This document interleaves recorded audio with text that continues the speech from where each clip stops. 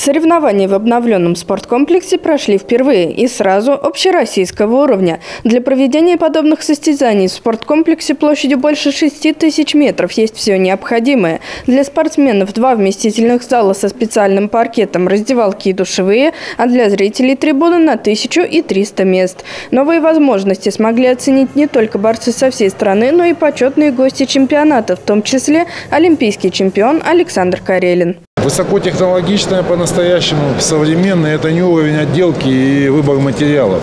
Это компоновка здания, это возможность попасть э, в зал, где четыре разминочных ковра. Немногие чемпионаты национальные могут позволить себе такие подготовительные возможности.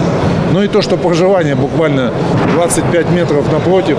Большая площадь комплекса позволила и соблюсти все необходимые санитарные требования. Соприкасаться борцы здесь могут только на коврах. Все возможности нового комплекса в прошлом году уже оценил министр спорта Олег Матыцын. По его распоряжению создали и организовали состязания. К слову, за последние пять лет чемпионат России по греко-римской борьбе во Владимирской области проходит уже во второй раз. Я уверен, это и хорошая традиция, и хорошая заявка на то, чтобы внимание к Суздаль-арене, к э, греко-римской борьбе, э, к Владимирской земле было высоким.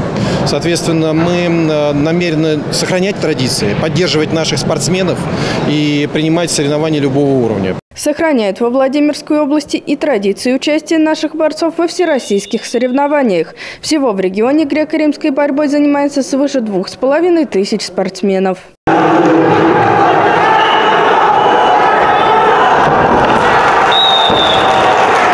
На чемпионате России область в 10 весовых категориях представили 11 борцов, в основном действующие победители и призеры федеральных и европейских первенств. Ну, у нас два явных э, лидера.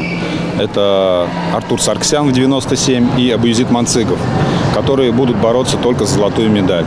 Но мы понимаем, что это спорт, поэтому возможно все, никто не застрахован.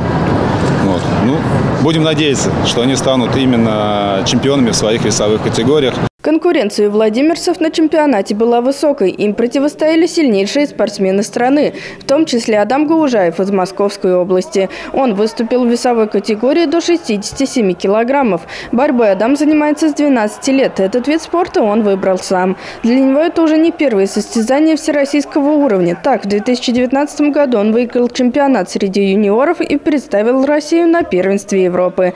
И в этот раз был настроен исключительно на победу. И в итоге стал чемпионом России. Подготовка прошла нормально.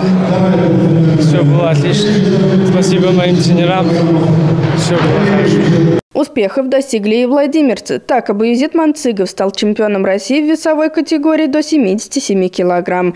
В финальной схватке он встретился с атлетом Тюлюбаевым из Московской области и обыграл его по очкам. Бой завершился со счетом 2-0 в пользу владимирца. А Артур Сарксян в категории 97 килограммов с таким же счетом обыграл представителя Краснодарского края Александра Головина. Теперь владимирским борцам предстоит защищать честь страны на чемпионате Европы. Он пройдет с 4 4 по 10 апреля в Будапеште.